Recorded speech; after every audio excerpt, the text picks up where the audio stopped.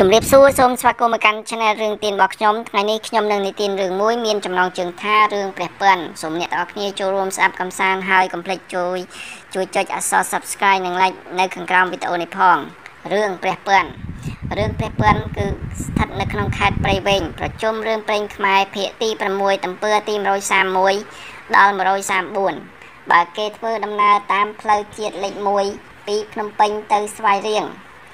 ចិត្តដល់ផ្សារតូចមួយគេហៅថាផ្សារលវាឃុំលវាស្រុកកំពង់ត្របែកខេត្តព្រៃវែងចុះទៅខាងស្ដាំដៃខាងត្បូង តាមផ្លូវលំប្រមាណជា5គីឡូម៉ែត្រចុះទៅខាងស្ដាំដៃខាងលិចតាមផ្លូវរទេះឬក៏ទៅតាមភ្លឺស្រែអ្នកស្រុកចម្ងាយប្រមាណជា3គីឡូម៉ែត្រទៀតនឹងបានឃើញដើមឈើពុះពុះនោះគឺជាព្រះពន្ធ បើយើងសួរអ្នកស្រុកនៅចិត្តខាងនោះ គេនឹងប្រាប់យើងថានោះគឺជាព្រះពន្ធហើយលុះឃើញចូលទៅបុរាណឋាន នោះនឹងបានឃើញអាស្រមមួយ សង់ដោយឈើប្រក់ក្បឿងរបៀបជាសាលានៅក្នុងសាលានេះ មានឃើញព្រះពុទ្ធរូបដែលគេតម្កល់លើបល្ល័ង្កយ៉ាងរៀបរយ ក្រៅអំពីព្រះពុទ្ធរូបដែលគង់លើបាឡាំង មានព្រះពុទ្ធរូបជាច្រើនរយអង្គទៀត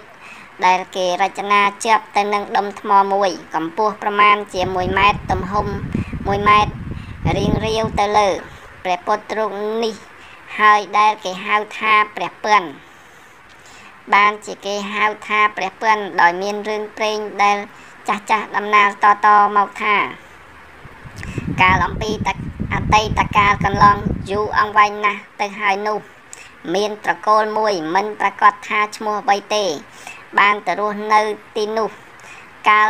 អំណេះឥតអំពីប្តីទៅ ប្រពន្ធបាន រួមរស់នៅជាមួយកូនប្រុសម្នាក់រកស៊ីចិញ្ចឹមជីវិតដោយការធ្វើស្រែជារបរប្រចាំគ្រួសាររៀងរាល់ព្រឹកម្ដាយតែងតែឲ្យកូនប្រុសនេះ ទៅភ្ជួរ រើសឯស្រែលុះដល់ថ្ងៃបន្តិចទៅម្ដាយទូលបាយសម្លយកទៅឲ្យកូនឯស្រែនោះ ជាខាងក្រោយថ្ងៃមួយ ដោយម្ដាយមានការជាប់រវល់នៅក្នុងកិច្ចការផ្ទះជាច្រើនផងនោះ ដោយ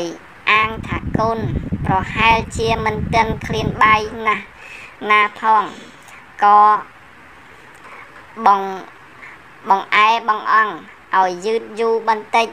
ជារៀងរាល់ថ្ងៃ ចំណែកកូនប្រុសក៏ទៅភ្ជួររើសឯស្រែនោះឃ្លានបាយណាស់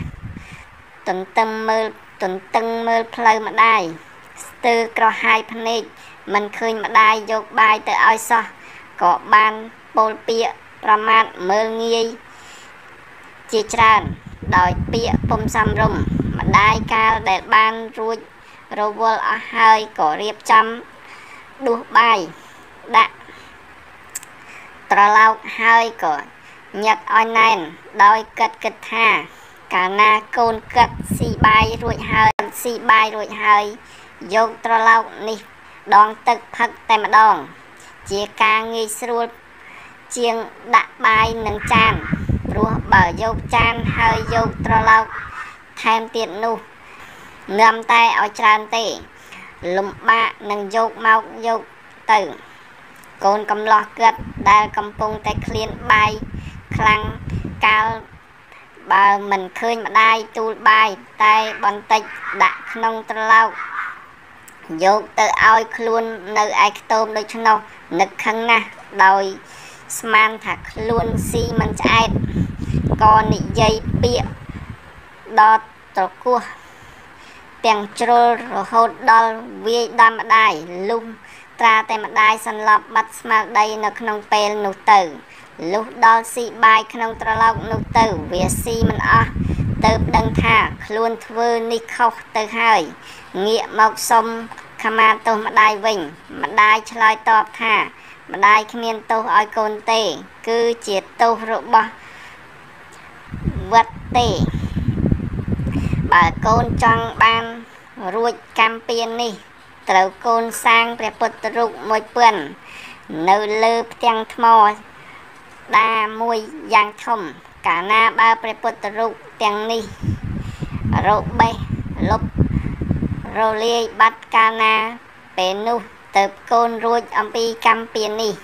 ម្ដាយផ្ដាំរួចស្រេចហើយក៏ធ្វើមរណកាលទៅកាន់លោកខាងមុខទៅ កូនប្រុសនេះ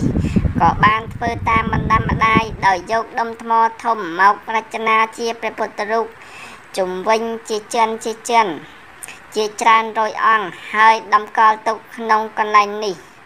រហូតមកដល់សប្តាហ៍ថ្ងៃនេះ នៅរៀងរាល់ឆ្នាំអ្នកស្រុកចិត្តខាង គេតែងនាំគ្នាទៅធ្វើបុណ្យទានផ្សេងផ្សេងនៅកន្លែងនេះពុំដែលខានទេចឹងរឿងខ្មែរដែលមានចំណងជើងថា រឿងព្រះព្រះពឿនគឺសូមចប់ត្រឹមនេះសូមអ្នកទាំងគ្នាចូលរួមជួយចុចអក្សរ Subscribe និង Like នៅខាងក្រោមវីដេអូនេះផងសូមអរគុណ